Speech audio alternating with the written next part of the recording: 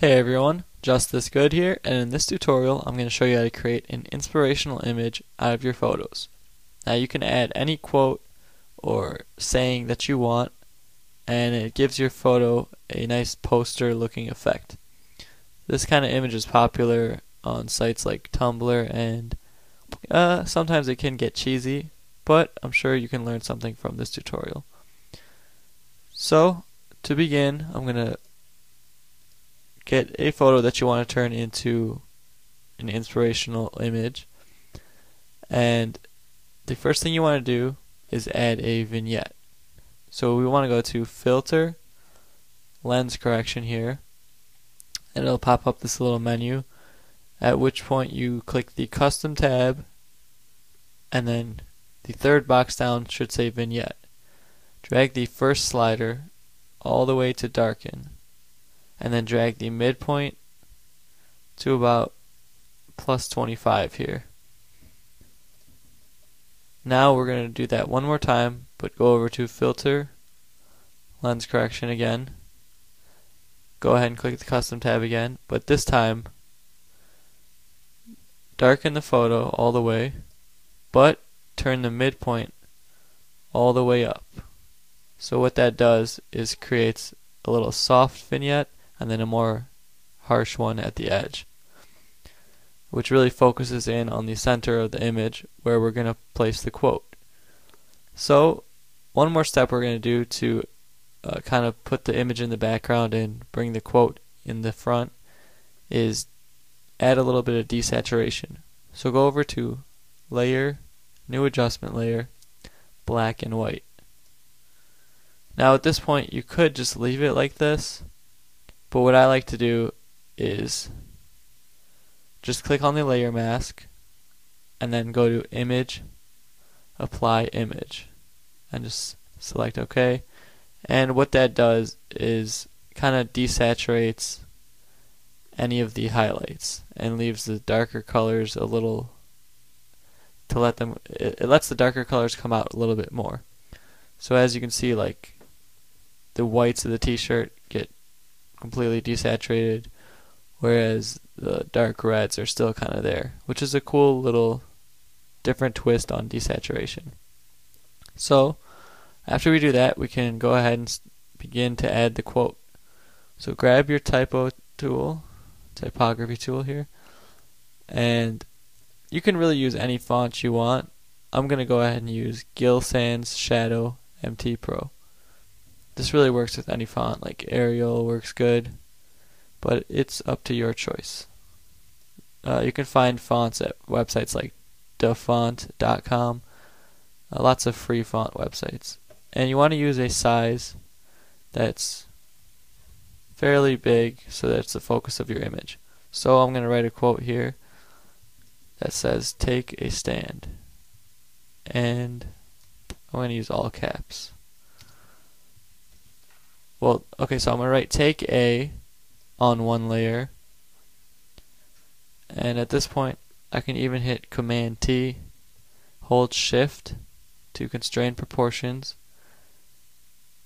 and make it a bit bigger.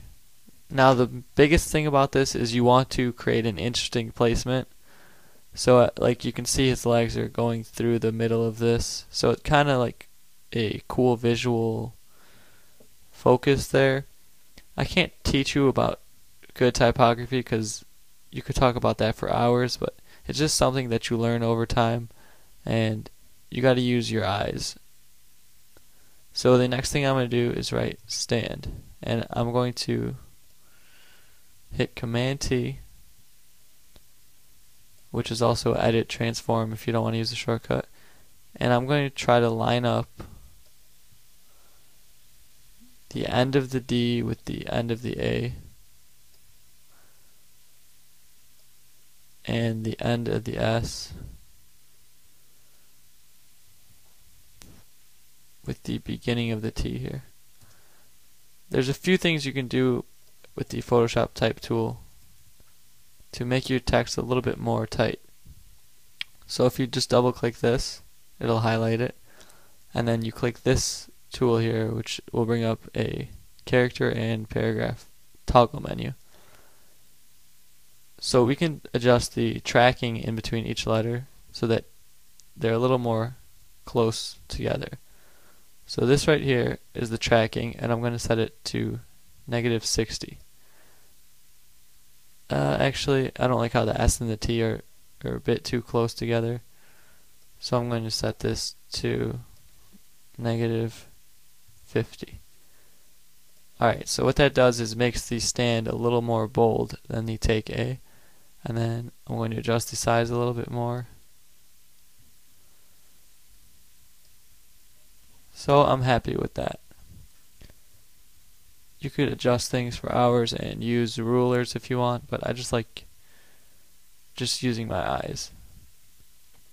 So now I'm going to grab this and hold shift and select both layers and then reposition it exactly where I want. And at this point, you can change the color of the text. So let's say I can double click this, click on my primary color, and let's say I wanted to make it like a light blue like this guy's shirt here. Uh, something a little bit lighter.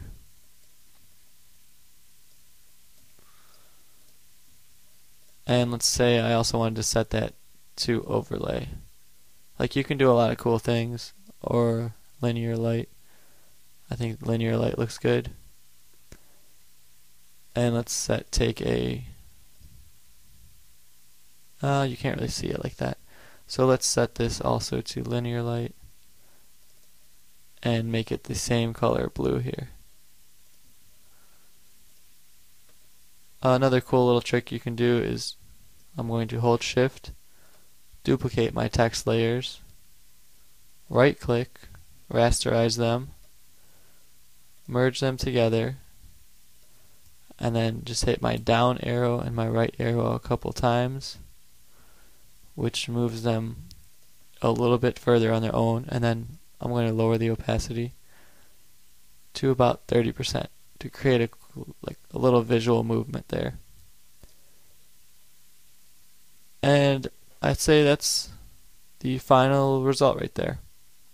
So pretty much you can say or add whatever type of writing you want. You can get really detailed with the typography.